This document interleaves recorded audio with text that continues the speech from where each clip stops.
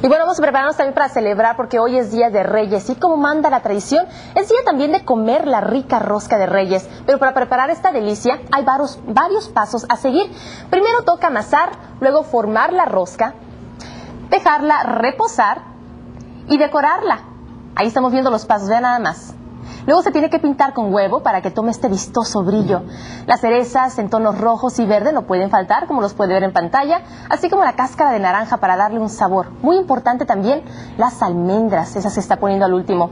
Obviamente la crema de queso, que es la preferida para muchos, como también la mermelada de guayaba.